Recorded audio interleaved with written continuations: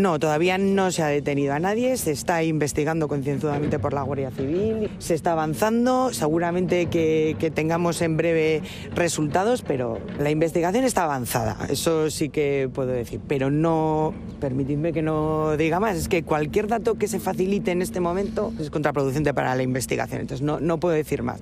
Lo que puedo asegurar es que se ha avanzado y que, bueno, que tenemos que tener paciencia, pero la Guardia Civil es tremendamente efectiva, eso sí que se lo puedo asegurar. ¿Qué tal? Muy buenas noches. Ya lo han escuchado, se puede intuir que las fuerzas de seguridad ya saben quién es el agresor de la joven de Albelda, pero aún no se ha dado con su paradero, podríamos decir. A pesar de que, eso sí, las autoridades dijeron ayer que la detención sería inminente, este hecho todavía no se ha producido.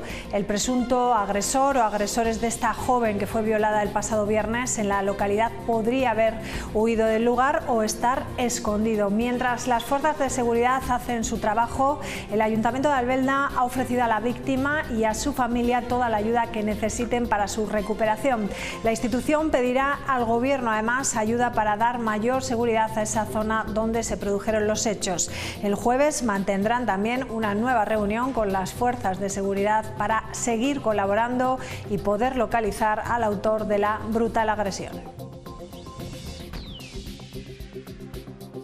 Ayer pude hablar con la madre y la tía de la víctima, no quisimos hablar con la víctima porque entendemos que primero lo que tiene que hacer es recuperarse. Hemos estado con la asistente social y lo que son nuestras competencias, pues le hemos abierto un abanico de posibilidades ¿no? que queremos que se lo transmitan a, a la víctima. Hemos estado preparando a través del equipo técnico del ayuntamiento un dossier para, para presentar al gobierno, a ver si tiene a bien colaborar con nosotros ¿no? y poder reurbanizar seis o siete calles ¿no? y meterse en saneamiento nuevo, más iluminación y darle un poco una seguridad. ¿no? Hemos estado manteniendo varias conversaciones con delegación de gobierno. El jueves a las nueve y media de la mañana tenemos una cita con ellos, con los responsables un poco de Guardia Civil de toda esta zona.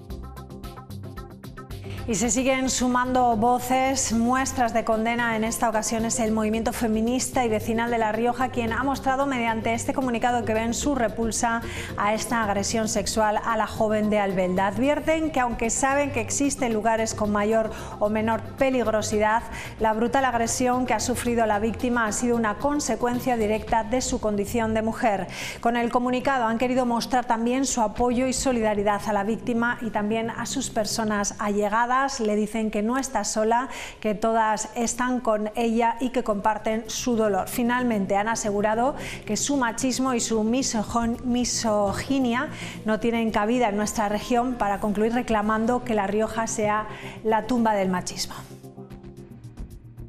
Desde el movimiento feminista y vecinal de La Rioja hemos querido mostrar nuestro total apoyo a la víctima de la brutal agresión sexual cometida en Albelda de Iregua el pasado 8 de marzo. Hemos querido además mostrar nuestra total condena a estos hechos deleznables para decirles a los agresores que su machismo no tiene cabida en esta nuestra comunidad. Y sigue sin descanso la búsqueda del joven calceatense Javier Márquez. Hoy la Policía Nacional ha comenzado a rastrear también el río Ebro a su paso por Zaragoza. En los trabajos han colaborado los bomberos y la Confederación Hidrográfica del Ebro. Unos trabajos que se suman a los que las fuerzas de seguridad continúan aquí haciendo en nuestra región. Hoy se han centrado en la depuradora del Iregua, detrás del centro comercial Berceo, mientras los vecinos de Santo Domingo siguen también pateando la ciudad.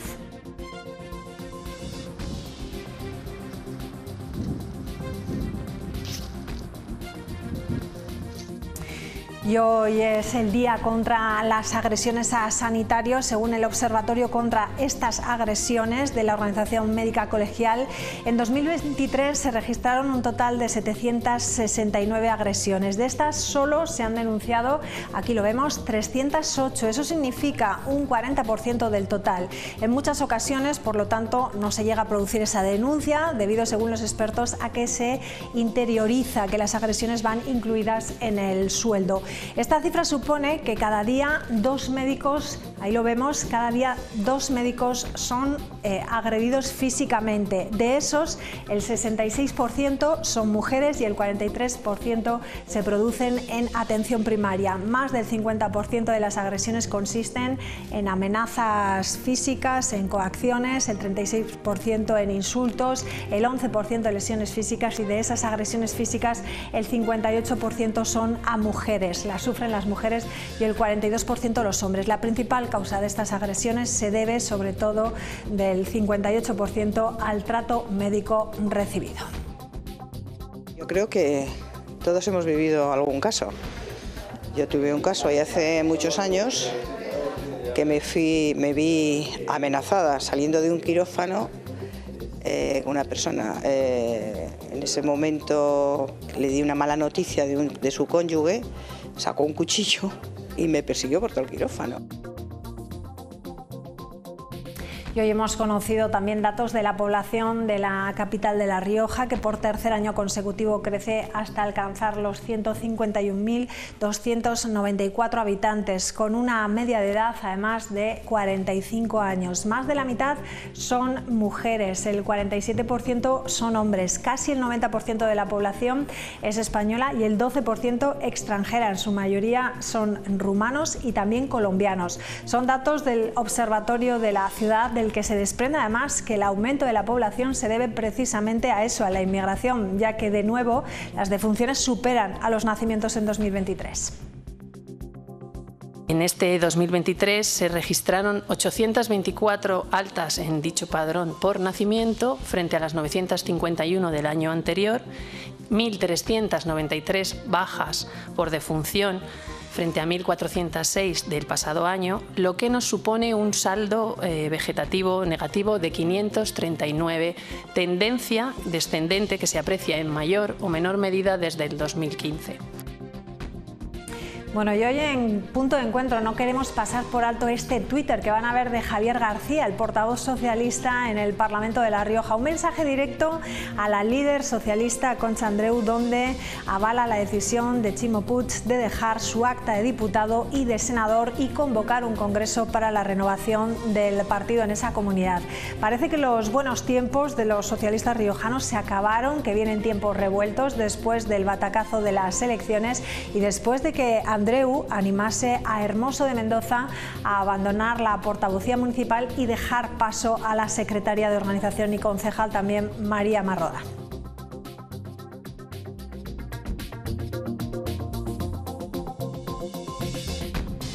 Bueno, pues en unos minutos vamos a hablar de todo ello, pero antes nos vamos a centrar en eso, en las agresiones a los médicos y en los profesionales sanitarios. Analizamos esta problemática que afecta diariamente a dos profesionales en nuestro país. Es decir, todos los días hay profesionales que son agredidos en la práctica de su trabajo. Será en unos minutos en la tertulia. Hasta ahora.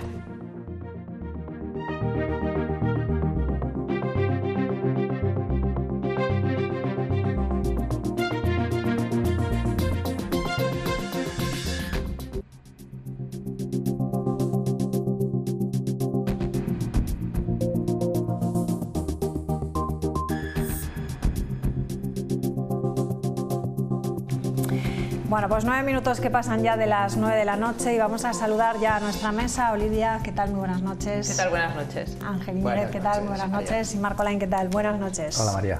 Bueno, intensa tertulia que tenemos por delante y vamos a comenzar hablando del Día Europeo contra las agresiones de los profesionales médicos y de los profesionales sanitarios.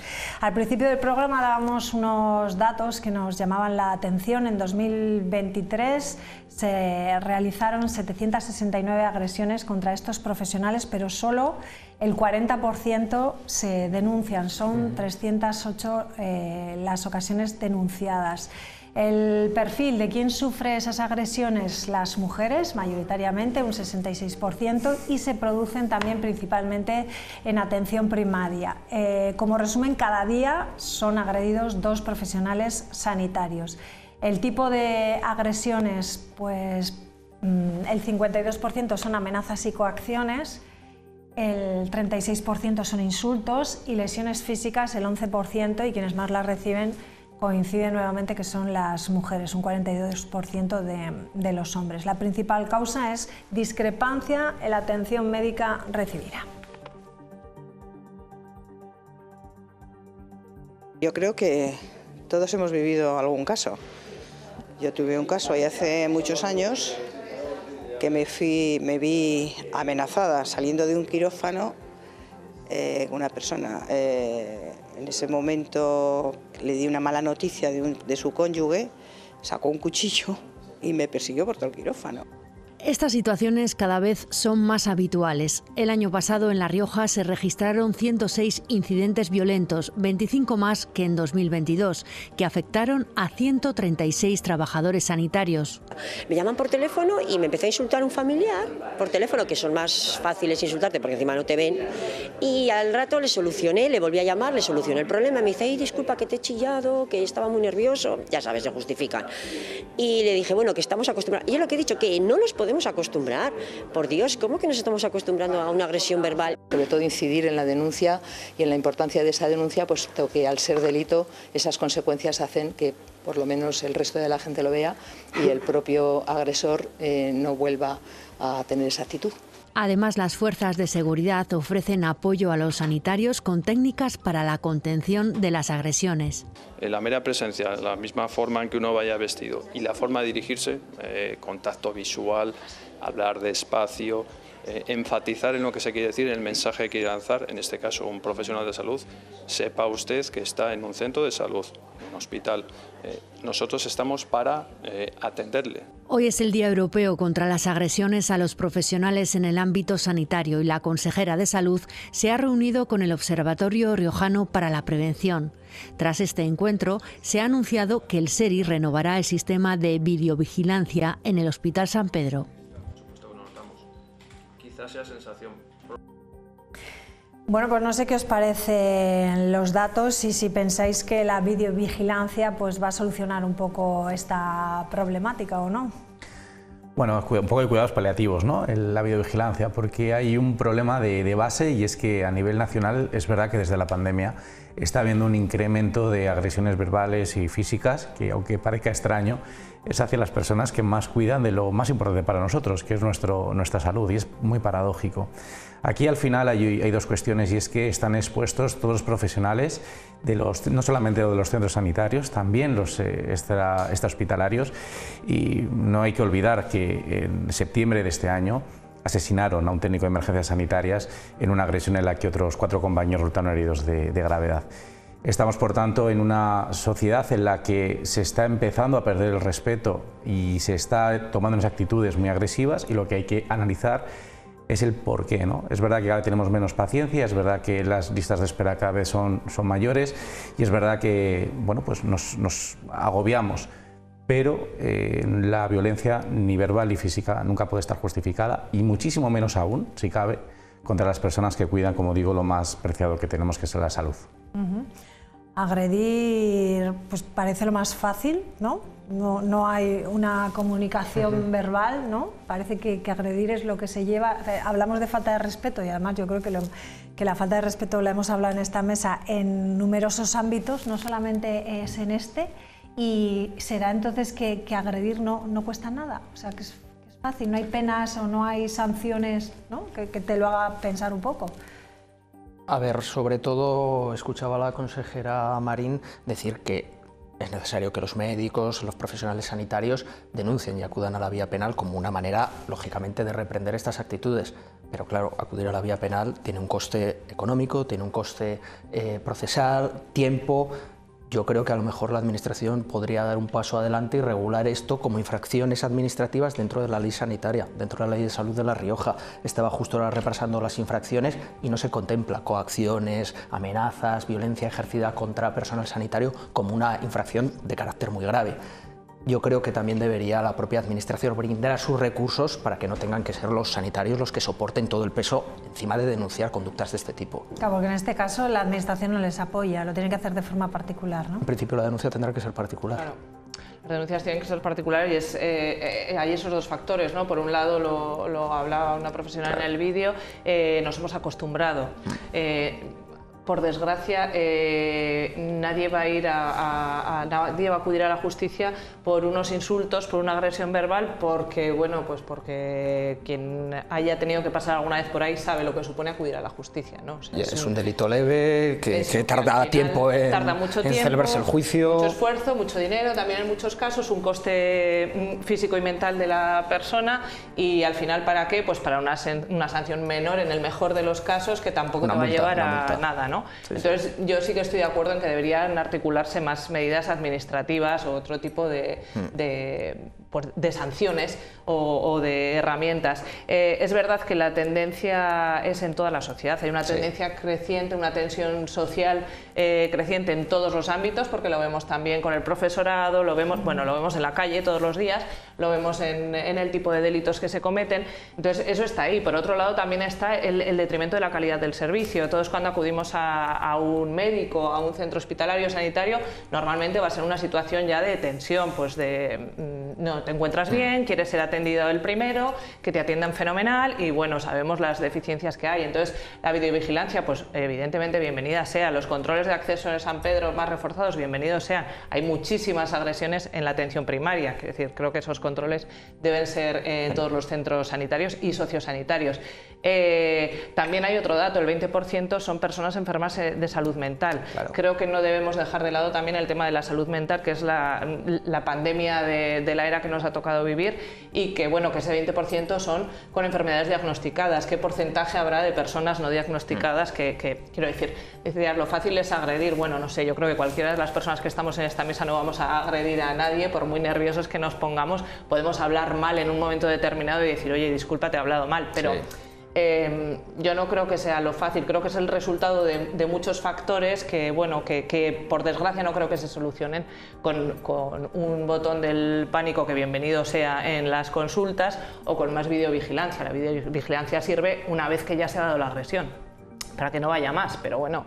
¿Hasta qué Además, por otro lado, dentro de los datos que daba, y sí se ve un perfil demográfico de quiénes son agredidos o quiénes son principalmente agredidos, pero a mí me gustaría saber también los datos demográficos generales de quiénes son los agresores, porque resulta que si a lo mejor vemos, claro, si resulta que vemos que son, por poner un ejemplo, y que no tengo ni idea de los datos, eh, jóvenes de entre 20 a 30 años, pues a lo mejor precisamente hay que enfocar ahí la educación, las medidas eh, públicas educativas de publicidad institucional que haya que realizar.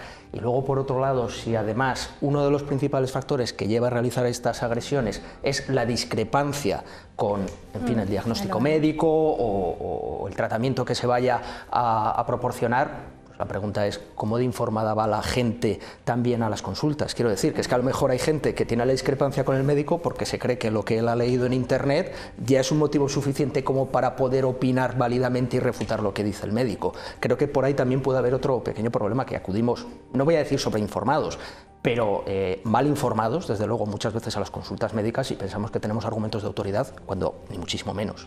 Yo creo que además estamos como enfadados con la eh, con la atención sanitaria, ¿no? Pues porque pides cita al médico y tardan un montón de días, porque estás no sé cuántos meses para que te operen, porque al final tengo que acabar acudiendo a la privada, porque no sé cuánto. Está...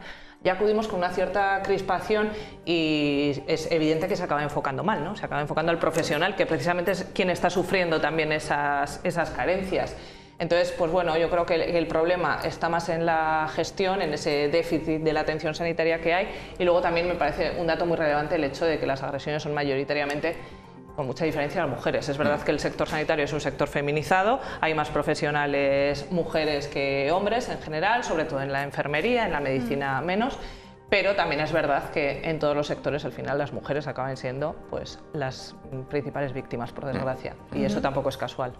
Y también un poco la, mea culpa de cómo utilizamos ¿no? los sí, también. pacientes. ¿no? La saturación ¿no? de los servicios de atención primaria. Porque muchas veces que cuando uno acude al médico, yo soy de las que voy cuando estoy muy, muy, muy mala, muy mala, muy mala, ¿no? Y luego a lo mejor ves ahí personas pues que a lo mejor por un simple catarro o a mí en ese momento me parece todo tontería lo que tengo al lado, ¿no? Pero es curioso que los profesionales, Es curioso que los profesionales sanitarios, que desde luego son los más defensores de la sanidad pública y una sanidad universal, también sean los que más están abogando por introducir algún tipo de copago en las consultas, precisamente para evitar este tipo de situaciones, como una medida pues disuasoria, viendo que la gente por sí misma de momento no eh, está lo suficientemente eh, preparada ¿no? para poder decidir cuál es el tipo de consulta que necesita, pues puede ser también una solución para intentar aliviar esas tensiones. Yo creo que no es la recomendable, pero a lo mejor como medida de choque a corto plazo podría valer.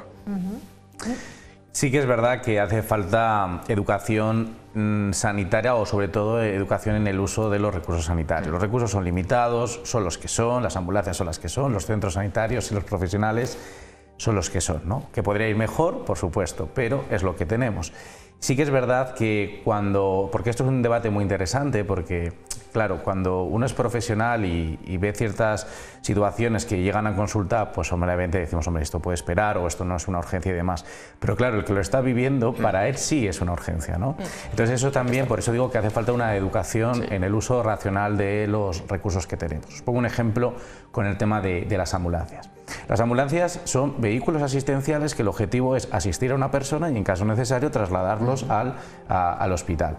¿Cuánta gente cree eh, que os llama para pedir una ambulancia. Las ambulancias no se piden, ese término está mal empleado. Lo que hay que hacer es pedir ayuda si se necesita al teléfono 112 y el teléfono 112, las profesionales que trabajan ahí, si determinan que una ambulancia es la solución adecuada, entonces se enviará una ambulancia. ¿Qué es lo que está ocurriendo? Que hay muchos ciudadanos que dicen, yo eh, aun pudiendo ir en mi coche a algún servicio de urgencias, voy a llamar a una, voy a pedir una ambulancia para que venga, me lleve al hospital y como las ambulancias hacen antes, voy a entrar antes a urgencias. Y esto es una realidad en muchos casos al, cabo del día. Y eso siento decir que es totalmente falso, es un mito porque tú llegues por ambulancia o llegues a, por propio pie, vas a pasar por el mismo proceso de triaje. Y el triaje es eso, es la clasificación de unos profesionales de, oye, ¿cuál es tu nivel de gravedad? Y se atenderá a las personas que más graves estén independientemente a cuando lleguen al centro sanitario. Bueno, y la ambulancia lo mismo, ¿no? La ambulancia se dará si efectivamente la necesitas, ¿no? Cuando llamas, quiero decir. Efectivamente, pero hay veces que si hay, hay personas que no están siendo honestas con el mensaje que transmiten y con intención pueden llegar a decir información que saben perfectamente que no es la correcta. Por lo tanto, se moviliza la ambulancia. Y hay personas que, eh, aun yendo en ambulancia, a lo mejor sí que es verdad que necesitan ir tumbadas en camilla porque tienen una patología que no les permite ir, por ejemplo, sentado en un taxi o por su propio pie, y sí que es cierto que una vez que lleguen al hospital, pues a lo mejor tienen que esperar tres horas o cuatro horas, dependiendo de cómo es tu urgencias, aunque hayan ido en ambulancia. Entonces, es importante que esto el ciudadano lo tenga claro, porque ni las ambulancias se piden, ni por ir en ambulancia los van a atender antes. Yo creo que esa realidad existe, evidentemente, y que hay gente que hace un mal uso de la sanidad, como de todos los servicios públicos, pero que tampoco se puede echar ahí el peso. Yo creo que, que cuando hablamos de los recursos hay que hay que contemplarlo en, global. ¿no? Yo lanzo la pregunta y evidentemente no soy experta. ¿Realmente lo que nos hace falta ahora mismo en el sistema sanitario de La Rioja es un centro eh, hospitalario, ese, centro de apoyo de consultas que van a abrir junto al CARPA? ¿Es eso lo que hace falta? ¿O hace falta que los profesionales trabajen en buenas condiciones, que se queden aquí, que, que tengan tiempo para atender las consultas, que tengan todos esos recursos? Que, o sea, a mí es una cosa que me genera muchas dudas y que ahí lo porque evidentemente no tengo la solución ni tampoco eh, la capacidad de ejecutarla, pero mm, creo que a veces eh, también se confunde mucho, o sea, se pone mucho el, foco en el uso que hacemos los ciudadanos, las ciudadanas del sistema sanitario y no tanto en la gestión. Y yo creo que la gestión sanitaria es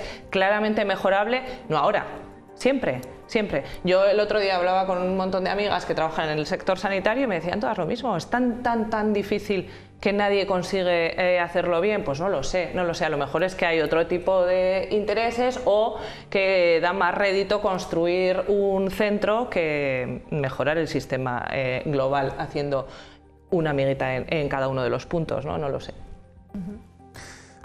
solo por matizar, claro que no es un problema, o sea, el, problema global de la sanidad y relacionado un poco el tema de las agresiones no va exclusivamente a aquellas personas que hagan un uso poco racional de los servicios sanitarios. ¿eh? Eh, pero sí que es verdad que es una realidad que existe y sí que es verdad que al final es un granito de arena que, junto con otros granitos de arena pues al final hacen mm. de, esta, de esta gran montaña. Y sí estoy de acuerdo en que es necesario realmente eh, priorizar y darse cuenta qué es lo que hace falta en el sistema de salud, en este caso de La Rioja, para eh, que toda la cadena funcione. Es decir, desde que una persona cuando puede ir atención primaria, es decir, que no sea una urgencia, tenga una cita que no se demore una semana, que yo vaya a un centro de salud y el centro de salud funcione y que no tenga goteras, como ocurría en el caso de Arnedo, eh, hasta que lo arreglaron, que realmente el especialista me pueda atender y que no tenga que estar de baja siete meses hasta que me haga el especialista, que eso también supone no solo un problema sanitario, sino que supone un problema económico brutal para un país. Entonces, son muchas cosas que al final, si la cadena desde el principio no funciona, todo lo que va a ir alrededor va a ir fatal. Y al final esto de las agresiones es una consecuencia de otras muchas cosas que van por el camino. Y entre ellas también el tema de la salud mental. Yo creo que lo primero que habría que hacer sinceramente es escuchar a los profesionales porque son ellos quienes padecen no solo las agresiones, sino todo, todo el déficit del sistema, son los que vienen arrastrando todo lo que viene arrastrando de muchos años atrás y especialmente desde la pandemia y creo que son los que tienen que decir cuáles creen que son las soluciones, porque son, son los que las viven en el día a día. Yo creo que en cuanto... Sí, no, no, no termina. Que en cuanto a la falta de recursos que comentabas, que es eh, palmaria, tanto desde el punto de vista material como desde el punto de vista humano, hay una cuestión de fondo que es la financiación de las comunidades autónomas. Es una financiación que lleva postergándose desde el año 2013 y claro, no se han mejorado los recursos financieros de los que disponen las comunidades autónomas, que ahora pues todas tienen una gestión eh, propia y sistémica de nuestro sistema nacional de salud.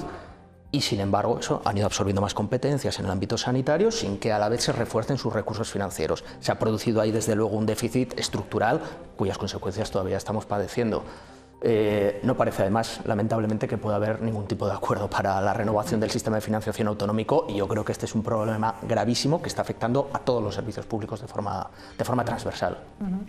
Bueno, como conclusión, para terminar, eh, ¿qué podríamos decir? O sea, eh, ¿de qué forma arreglaríamos nosotros o evitaríamos nosotros aquí que se produzcan estas agresiones? Porque yo si soy médico o enfermera y cada día dos profesionales en nuestro país son agredidos, pues la verdad que tampoco iría muy a gusto todos los días de trabajar.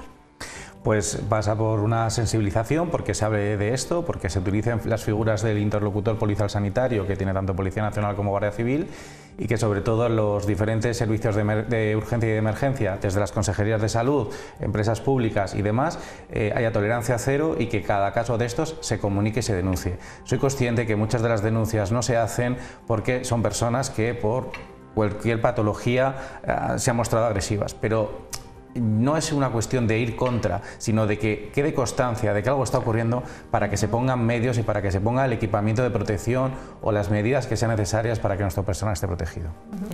Bueno, pues hacemos una pequeña pausa y enseguida seguimos con más temas aquí en Punto de Encuentro. Hasta ahora.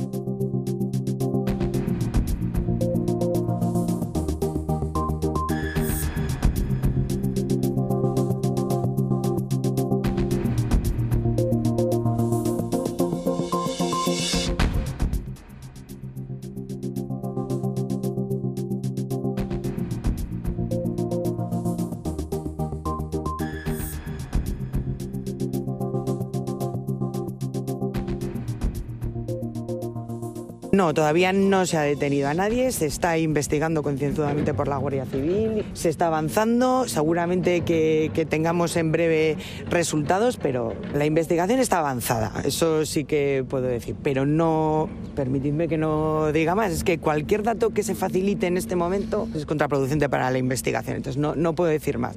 Lo que se puedo asegurar es que se ha avanzado y que, bueno, que tenemos que tener paciencia, pero la Guardia Civil es tremendamente efectiva, eso sí que se lo puedo asegurar. Bueno, pues la detención iba a ser inminente. Parece que pasan las horas y todavía no se ha detenido al agresor de la joven de Albelda. Se dice que, que, está cerca, que es cuestión de horas, pero no se ha hecho. ¿A qué creéis que es debido? ¿Es debido a que ese agresor ha podido escapar? ¿Puede ser que esté escondido o tal vez haya más, más cosas detrás?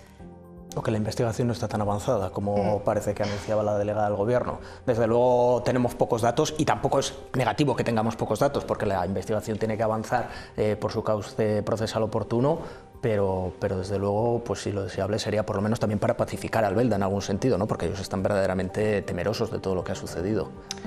Yo es que creo que se puede añadir poco en este punto, básicamente porque hay una, investigación abierta que ojalá de verdad muy pronto eh, dé resultados y más allá además de mostrar por supuesto todo el apoyo a la víctima como sociedad y el absoluto rechazo, repulsa por lo sucedido. Yo sí que me gustaría destacar que sucedió todo esto en un día en el que miles de mujeres estábamos llenando las calles para clamar por nuestros derechos y que esto no hace más que mm, demostrarnos que tenemos que seguir y que si tocan a una vamos a seguir respondiendo todas y es lo que ha pasado aquí.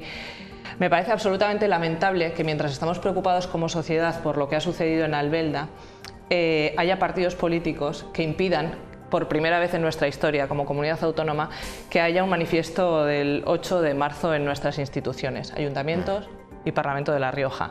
Me parece lamentable que ayer mismo en el Parlamento eh, ese mismo partido, estoy hablando evidentemente de Vox, negase la violencia de género, se riese del 8M, lo atribuyese a la izquierda, cuando el 8M es de las mujeres y es de la sociedad que hablase de criminalizar al hombre y de acabar con su presunción de inocencia, y que dijese que condena todo tipo de violencias. A mí me parece eh, terrible que estemos en una sociedad así cuando en España se denuncian 13 violaciones cada día. Es decir, una violación cada dos horas en este país. 55 agresiones sexuales cada día, más de dos agresiones por hora. O sea, a mí me parece que la única reflexión que podemos hacer en este punto es esa y, insisto, eh, mostrar todo el apoyo a esa mujer y a todo su entorno que evidentemente están sufriendo y desear que se solucione cuanto antes y que esa o esas personas acaben donde tienen que estar. en, este caso, añadir a lo que han comentado los compañeros de mesa que la Guardia Civil tiene un procedimiento, eh, tiene que garantizar que obviamente cada paso que dé no eche al traste luego eh, que se haga justicia y por lo tanto eh, sí creo también en las palabras de la delegada de que por un lado, cierta prudencia a la hora de dar cierta información cuando hay una investigación de estas características eh, en curso, por lo sensible que es. Y yo también creo que probablemente en menos de 48 horas habrá novedades eh, desde un punto de vista de justicia para, ante esta situación que obviamente también condeno y, me parece totalmente deplorable. Bueno, quiero que escuchemos también al alcalde. Hablábamos ayer en este programa y decía bueno pues que desde su institución se ha ofrecido toda la ayuda tanto a, esta chica como a su familia. Y también que mm, habían elaborado un dictamen para eh, pedirle al gobierno de La Rioja Mm, si le venía bien, y lo vamos a escuchar porque yo creo que lo dice con esas palabras textuales, ayudarles para mejorar la, zona, la seguridad, poder arreglar un par de calles allí, pues que haya más iluminación, etcétera. Que esto es una realidad que está pasando mm, en muchos pueblos de La Rioja, ¿no? que el deterioro de los cascos antiguos. Vamos a escucharle. Ayer pude hablar con la madre y la tía de la víctima, no quisimos hablar con la víctima porque entendemos que primero lo que tiene que hacer es recuperarse. Hemos estado con la asistente social y lo que son nuestras competencias, pues le hemos abierto todo un abanico de posibilidades ¿no? que queremos que se lo transmitan a, a la víctima Hemos estado preparando a través del equipo técnico del ayuntamiento un dossier para, para, presentar al gobierno, a ver si tiene a bien colaborar con nosotros ¿no? y poder reurbanizar seis o siete calles ¿no? y meterse saneamiento nuevo, más iluminación y darle un poco una seguridad. ¿no? Hemos estado manteniendo varias conversaciones con delegación de gobierno. El jueves a las nueve y media de la mañana tenemos una cita con ellos, con los responsables un poco de Guardia Civil de toda esta zona. Fíjate, ayer que era, hoy es martes, ¿no? Ayer que era lunes, ellos ya tienen una convocatoria para el jueves con las fuerzas de seguridad para seguir colaborando, o sea que eso también me llama la atención. Es que me parece que se mezclan un poco cosas, porque más allá de que en determinados entornos el riesgo sea mayor, que evidentemente eh, lo es, y no solo para esto, sino para todo tipo de delitos, estas agresiones en concreto son consecuencia directa del hecho de ser mujer. Hay entornos en los que evidentemente hay que abordar las reurbanizaciones, la iluminación, pero el riesgo de sufrir una agresión sexual, una, violación, no tiene que ver con el entorno, no tiene que ver eh, con ningún tipo de circunstancia más allá del hecho de ser mujer. Y ahí están los datos. Nos están agrediendo, nos están violando y nos están matando todos los días. Entonces yo creo que se mezcla y que lo entiendo porque hay un malestar en el pueblo y porque es una zona conflictiva, pero esto que ha sucedido no es un suceso. Esto es un problema estructural que tenemos como sociedad y que lo estamos viendo, insisto. Hay una violación cada dos horas, una agresión sexual, quiere decir una agresión sin penetración cada media hora pues no lo sé. Eh, evidentemente habrá que mejorar esa zona, pero para que no haya robos, para que no haya droga, para que no haya muchísimos problemas. Pero eh, este caso en concreto no tiene que ver con que la zona esté oscura o con que haya mm, X. O sea, tiene que ver con que esa chica es una mujer y como tal ha sido víctima en la sociedad en la que estamos. El agresor, eh, una bestia, ¿no? Que podría vivir de forma aislada, ¿no? En, en, otro, en otro lugar, que por cierto eso es muy difícil porque también eh, decían desde Albelda, si, si, son de aquí del pueblo, que los echen. Claro. Echen, ¿Pero dónde tienen que estar estas personas? Bueno, me imagino que pedirá a la víctima una orden de alejamiento en el momento en que se sepa cuál es la identidad del agresor y se inicie el procedimiento penal y probablemente esa orden de alejamiento implique el alejamiento del pueblo. El único problema de las órdenes de alejamiento es que luego trasladas el problema o la persona conflictiva probablemente a otro lugar. Pero tiene que estar en la cárcel, evidentemente. Claro, probablemente hay algún tipo de prisión preventiva ¿eh? por, el suceso tan brutal que parece que ha sucedido, probablemente haya prisión preventiva. Claro, esta joven al parecer ya estaba eh, bajo protección en cuanto se quitó la protección. Y esto, esto lo utilizaban precisamente para intimidarla, ¿no? Y que retirara el proceso por lo que ha salido en prensa, ¿no? El proceso... Sí, bueno, hoy ha salido en, una televisión nacional, ha salido ella hablando, ha salido también su, su pareja. Eh, ella no, no, quiere hablar, tiene mucho miedo, quiere que cuanto antes esto se, se, termine porque están en, en, un proceso, se supone, de juicio por esa primera agresión con, con, esa persona, de la que ha dicho que además está, según palabras de, de esta chica, que está fuera de, de prisión, que, que eso no, no, lo sabíamos hasta, hasta hoy, que está en la calle y está pendiente de juicio y que por eso acudieron allí para decirle, tú no, eso según no dice el chico, el, novio dice, tú no vas a ir a ese juicio. Y lo que dice el chico es que la intención no era la agresión sexual, sino era más bien matarla. Directamente. Pero es que volvemos a lo mismo. Eh, nos están lanzando una y otra vez el mensaje de que tenemos que denunciar. Claro que tenemos que denunciar. Tenemos que denunciar cuando tengamos las garantías absolutas de que nos van a proteger una vez que lo hagamos. Porque si no tenemos esas garantías absolutas, lo único que estamos haciendo cuando denunciamos es exponernos todavía más. es evidente que, está fallando ese sistema. esta chica por, ya estaba bajo vigilancia, así lo dijo su tío. Pues si es así, este realmente es evidente que el pues sistema ha fallado. y cuando ha dejado de estar protegida, ha vuelto a pasar ahora esto. Pues eh, entonces el sistema ha fallado porque no han valorado ese riesgo que evidentemente había. Entonces eh, eh, aquí hay uno o varios culpables, pero habrá que ver qué responsabilidades subsidiarias hay alrededor, porque eh, no se puede dejar a una persona, si ya existía ese riesgo, eh, desprotegida, que es como evidentemente estaba si ha vuelto a suceder esto. Sí, sí.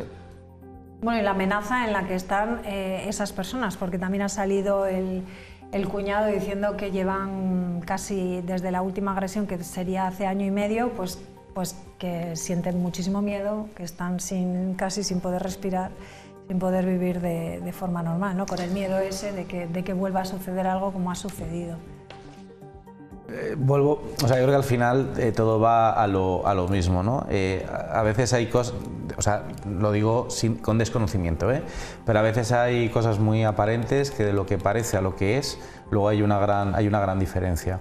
Por eso sí que es importante que haya dos cosas que tenemos que sacar en clave. Primero es qué personas hay en una situación vulnerable y que hay que proteger en todo momento. Eso está claro, aquí parece que si así ha sido, ha, fallado el sistema. Eh, y entonces hay que revisar para que no se puedan producir más casos. Hay que seguir trabajando en el tema de la igualdad y de la equidad para que realmente un problema eh, estructural, como estoy de acuerdo con Olivia, la sociedad entienda que esto sigue siendo una, realidad y que sí que hay que eh, actualizar, yo creo, a las nuevas generaciones eh, y hay que transmitirle de otra forma la realidad de un problema para que entiendan y para que lo, adapten a la, realidad en la que estamos. Y en, segundo lugar, y en tercer lugar, insisto en que estamos rodeados de, de agentes policiales que desde mi punto de vista creo que saben lo que hacen y es cuestión de horas que esto de alguna forma se resuelva con garantías pensando siempre en la propia víctima. No se puede tener a las primeras personas que creemos que son, sino que hay que hacer una investigación, tener garantías para que luego durante el proceso judicial nada está claro. Y yo aprovecho para decir también que los medios de comunicación tenemos que tener muchísimo cuidado con las informaciones que damos y con cómo las damos, sobre todo en este tipo de casos. también para la víctima, está claro. Así es. Yo también quería que se viese que se siguen sumando nuevas voces, ¿no? El, En esta ocasión es el movimiento feminista y vecinal de, La Rioja que coincide con lo que, que tú decías Olivia, que ha mostrado mediante este comunicado que estamos viendo su repulsa por, la agresión, advierten que aunque saben que existen lugares con mayor o menor peligrosidad, que era lo que yo decía, que comentabas Olivia, la brutal agresión que ha sufrido la víctima ha sido consecuencia directa de su condición de mujer y con este comunicado quieren mostrar el apoyo, solidaridad a la víctima, a sus personas más cercanas, le dicen que no está sola, que eso es importantísimo también, que están con ella, que comparten su dolor y finalmente aseguran que su machismo y su misoginia no tiene cabida en esta región y concluyen reclamando que La Rioja sea la tumba del machismo.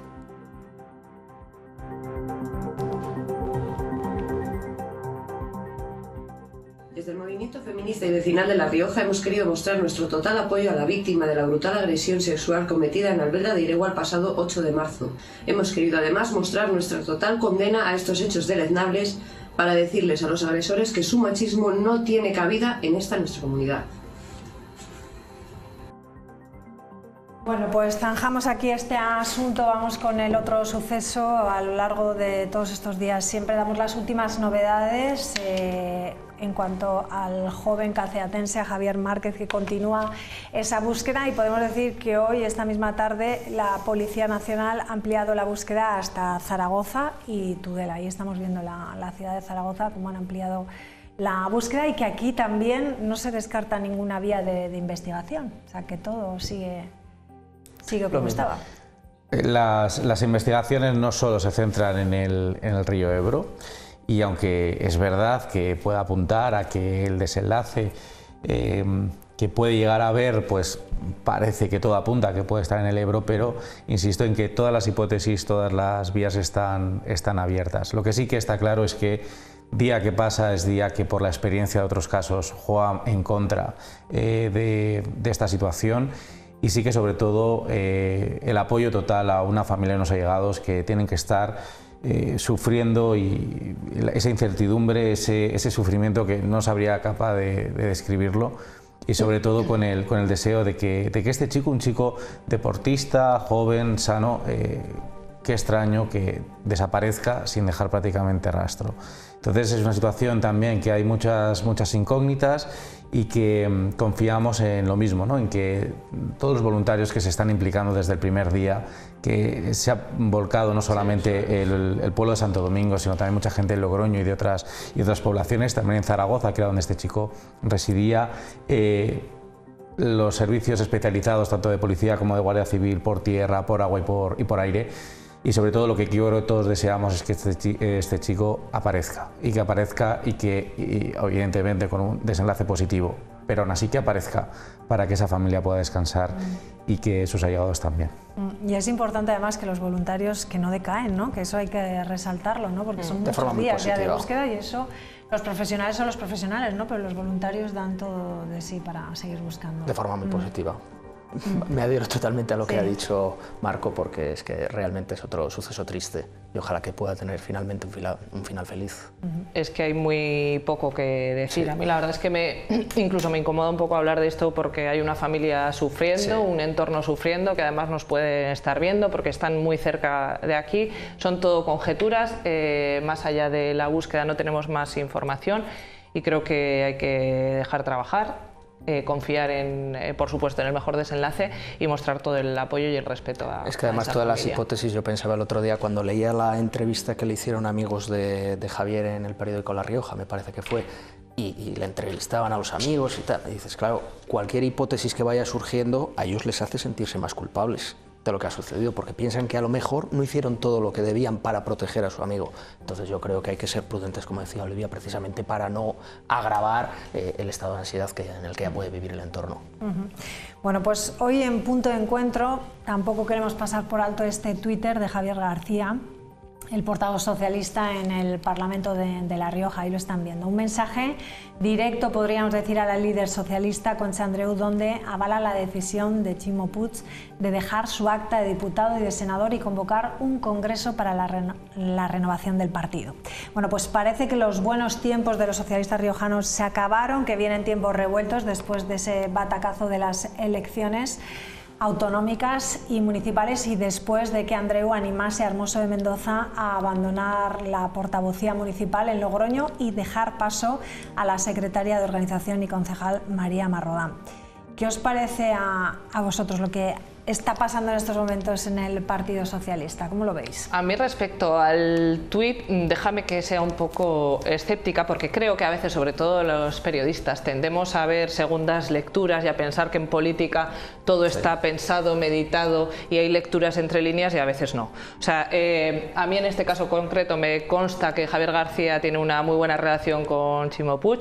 Eh, recuerdo además que puso un tuit muy parecido dirigido a Fernández Vara hace cosa de un mes. Entonces, bueno, no sé si había toda esa intencionalidad o se la ha encontrado por el camino. Mm, a lo mejor simplemente ha puesto un tuit de apoyo y ya está.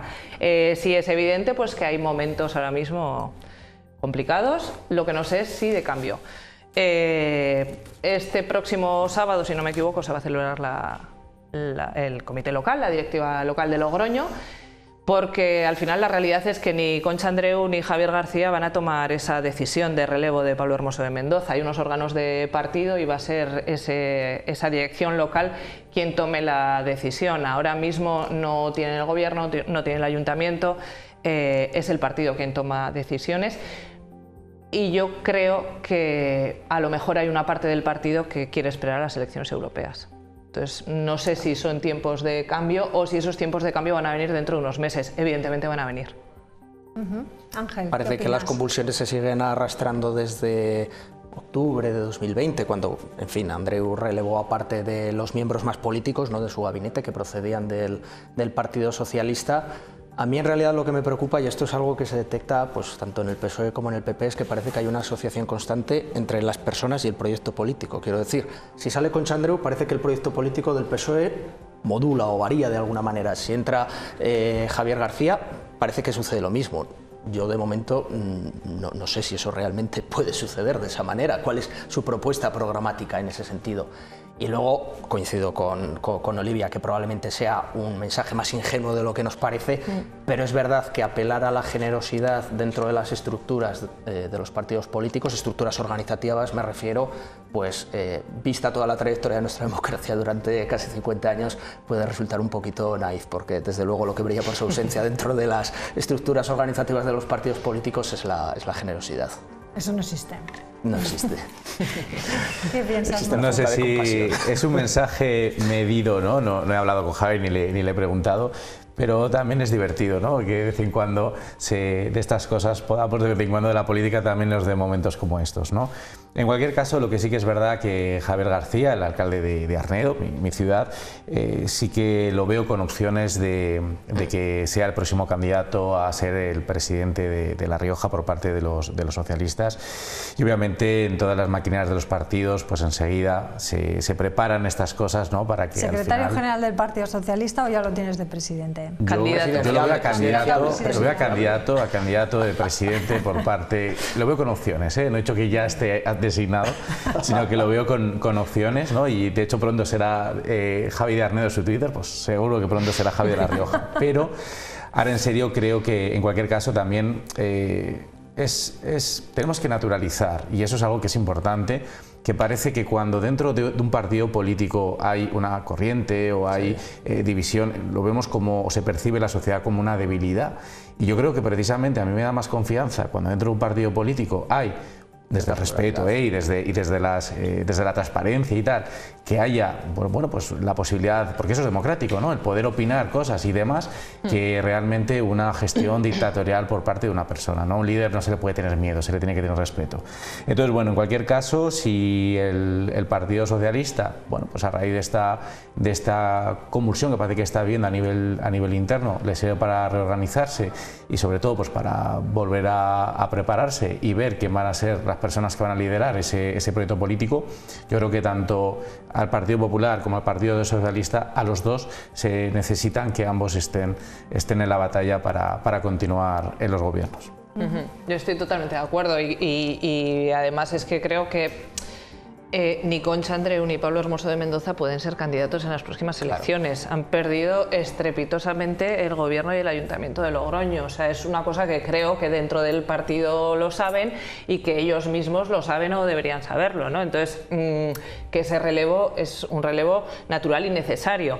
Y no se va a hacer ni el último año ni dos años antes. O sea, la, carrera electoral empieza cuando acaban las elecciones. Entonces, eh, están en esa carrera tiene que haber oposición, pero tiene que haber también opción de una alternativa de gobierno para que la gente pueda votarla. Eh, se tiene que recomponer el Partido Socialista. Ahora mismo, pues bueno, pues eh, están en esa calma, evidentemente calma tensa, como hay en todos los partidos cuando soplan vientos de cambio, pero bueno, que creo que es algo que entra dentro de lo normal Imagino que lo deseable para ellos es que mm, esa calma tensa sea lo más calma posible, eh, para el adversario que sea lo más tensa posible y bueno, ahí está como lo manejen. Siempre hay partidos que lo manejan mejor que otros. ¿A qué vino entonces esa petición de Concha Andreu Hermoso de Mendoza? ¿Por qué creéis que...? Yo creo que la lectura que al final han hecho después de las elecciones es que la pérdida del gobierno de La Rioja es exclusivamente atribuible a lo que sucedió en el Ayuntamiento de Logroño. Entonces me parece que está descargando la responsabilidad en la gestión de Pablo Hermoso cuando la gestión de Pablo Hermoso, eh, yo creo que para la mayor parte de los logroñeses sea previsible que podía conducir a un mal resultado, sobre todo por la concentración, eh, pues en fin, de, decisiones quizá algo precipitadas que se, que se produjeron durante los últimos meses. Entonces yo creo que la lectura que ha terminado haciendo el Partido Socialista es esa. Eh, la culpa es de Pablo Hermoso de Mendoza. Por lo menos la que ha hecho con Chandreu, ¿eh? No lo sé, ella, ella no es portavoz en el gobierno y esa es el, ese es el argumento con el que mm, expone a Pablo Hermoso de Mendoza, pues bueno, hay que dar ese paso atrás, no le dice vete del grupo, evidentemente. Eh, esto yo creo que no viene de antes de ayer, o sea, todo el mundo sabe que Pablo Hermoso de Mendoza con Andreu pues tampoco era una relación pues bueno, pues que compartían partido, compartían proyecto y afortunadamente para ellos gobernaban ambos, pero bueno, que, que, son dos cuerdas distintas del partido, lo sabe todo el mundo y lo han sido desde el minuto cero. Entonces, bueno, a mí tampoco me extraña. Igual el, momento, pues no lo sé, pero ¿cuál es el momento? No lo sé. Sí creo que, bueno, que habrá una parte importante del partido que quiere esperar a las europeas para ver qué pasa. Yo lo que creo que va a pasar es que va a ser pues, otro batacazo del Partido Socialista y que mm, van a salir todavía un poco más dañados internamente, pero bueno, no lo sé.